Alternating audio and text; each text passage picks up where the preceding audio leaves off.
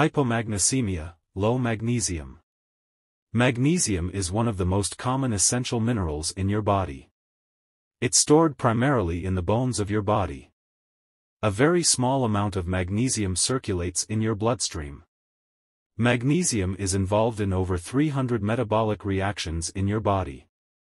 These reactions affect a number of very important body processes, including protein synthesis, cellular energy production and storage, cell stabilization, DNA synthesis, nerve signal transmission, bone metabolism, heart function, signal transmission between muscles and nerves, glucose and insulin metabolism, blood pressure, Symptoms of low magnesium. Early signs of low magnesium include nausea, vomiting, weakness, decreased appetite. As magnesium deficiency worsens, symptoms may include numbness, tingling sensation, muscle cramps, seizures, muscle spasticity, personality changes. Abnormal heart rhythms. Causes of low magnesium.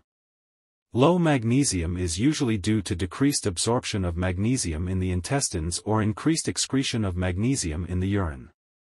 Low magnesium levels in otherwise healthy people are rare. This is because magnesium levels are largely controlled by the kidneys.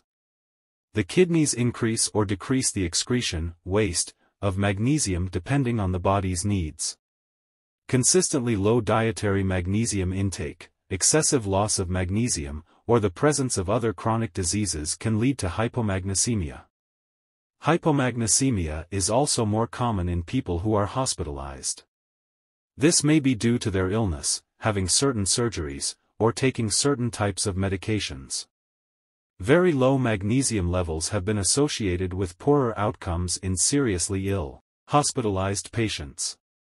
Conditions that increase the risk of magnesium deficiency include gastrointestinal, GI, disease, advanced age, type 2 diabetes, use of loop diuretics, such as Lasix, treatment with certain chemotherapies, and alcohol dependence. GI diseases Celiac disease, Crohn's disease, and chronic diarrhea may interfere with magnesium absorption or result in increased magnesium loss. Type 2 diabetes Higher blood glucose levels can cause the kidneys to produce more urine. This also causes increased magnesium loss. Alcohol dependence. Alcoholism can lead to poor dietary intake of magnesium, increased urination and fatty stools, liver disease, vomiting, kidney damage, pancreatitis, other complications. All of these conditions have the potential to cause hypomagnesemia. Older adults. Intestinal absorption of magnesium tends to decrease with age. Urinary excretion of magnesium tends to increase with age. Older adults often eat less magnesium-rich foods. They're also more likely to take medications that can affect magnesium, such as diuretics. These factors can lead to hypomagnesemia in older adults. Use of diuretics.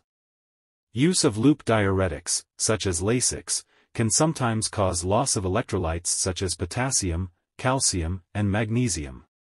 Diagnosing low magnesium.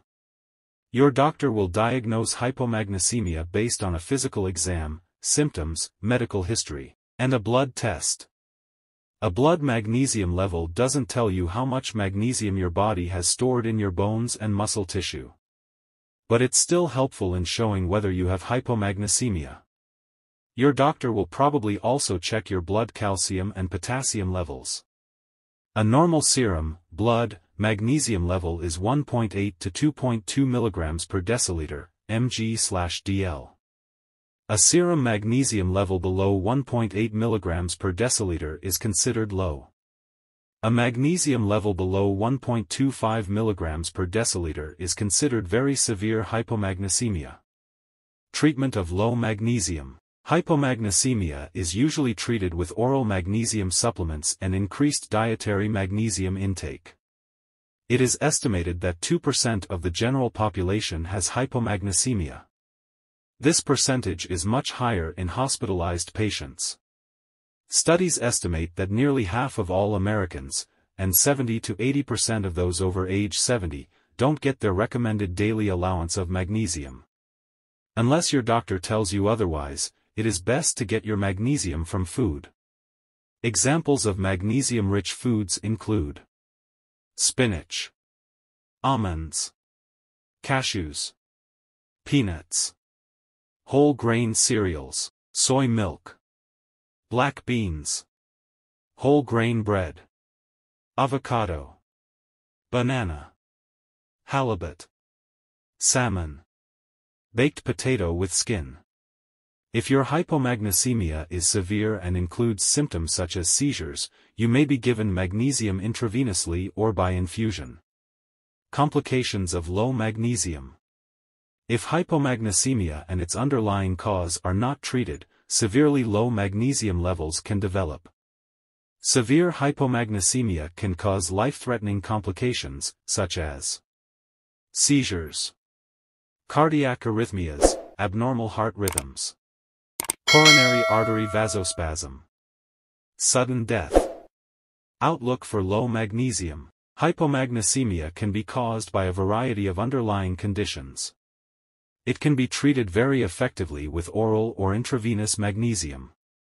It's important to eat a balanced diet to make sure you get enough magnesium. If you have conditions such as Crohn's disease or diabetes, or if you take diuretic medications, work with your doctor to make sure you don't develop low magnesium levels. If you have symptoms of low magnesium, it's important to see your doctor to prevent complications.